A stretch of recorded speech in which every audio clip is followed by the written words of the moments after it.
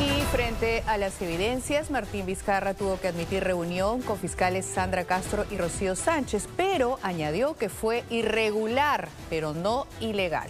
La situación es comprometedora. Pese a los cuestionamientos múltiples contra Vizcarra, el expresidente dijo que no renunciará a su candidatura al Congreso.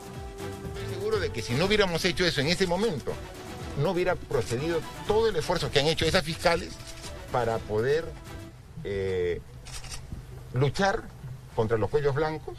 Según el expresidente Martín Vizcarra, las reuniones con las dos fiscales fue de manera transparente y para únicamente brindarles seguridad. Solamente con lo que corresponde, que nos pidieron, demos la seguridad, nada más.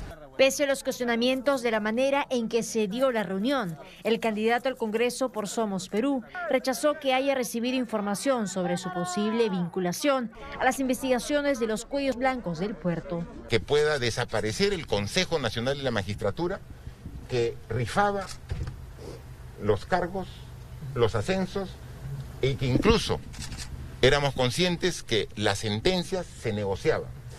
Luego que dejaran sin efecto la designación de las fiscales Sandra Castro y Rocío Sánchez, Vizcarra dijo lo siguiente. Entonces, ¿por qué la, entonces, ¿por qué la separan del cargo?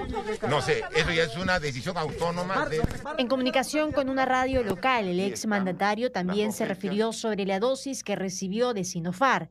Aceptó que debió ser de conocimiento público y pidió disculpas a los que se vieron afectados por lo ocurrido. Aquí